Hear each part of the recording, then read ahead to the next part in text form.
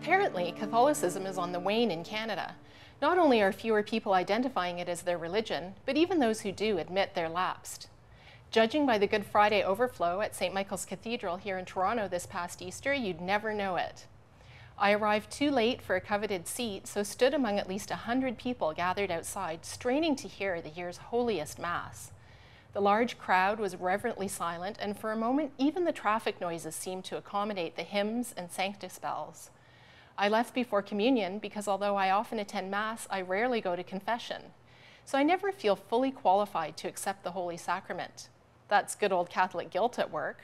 Or maybe I just don't feel comfortable confessing my sins to a man behind a screen.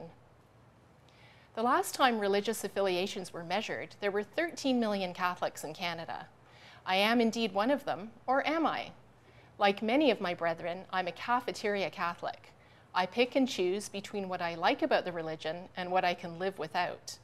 I'll take the comfort of the most traditional Mass and all its consecrations. I'll leave the Vatican stance on birth control, abortion, its secondary position of women, and the shameful sex abuse scandals. I did spend many youthful years being a good Catholic. My mother, a devout woman, tolerated my childhood fidgeting in the pew during Mass by handing me her rosary to play with. I attended Catholic schools from kindergarten through high school, which of course included regular theology classes and trips to Mass more than on requisite Sundays. I made my first communion and confirmation, signifying Christian maturity. I joined the church choir and the youth club, as much to meet the cute boys from, from the congregation as anything else. But I broke my mother's heart when in my late teens I turned away from the church. Nothing that it stood for suited my blossoming principles. How could I listen to a homily which included a call to action on pro-life? How would I remain virtuous when every bit of fun was off limits to a good Catholic? Still, it took my first university women's studies class before I officially swore off my patriarchal childhood religion. My mother's fervent wish was to get me back to Mass until one day I blurted out, Look, Mum, I'm not even sure I believe in God. We didn't broach the subject again, but I think she secretly believed I'd make my way back.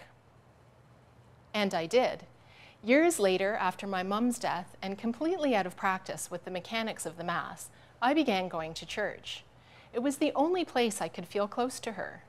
The continuity of the Mass soothed me. The poetry of the prayers, the litany of the saints, the repetition of the rosary, the gorgeous stained glass, and the familiar story that unfolds in the Stations of the Cross. Pundits and theologians discuss how a withering Catholicism needs to repair, change, and progress, but I no longer mix faith with politics, and I'm comfortable with my personalized religious practice.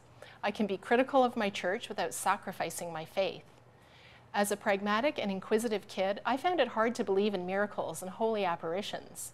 Now I think the only thing certain about my faith is its mystery.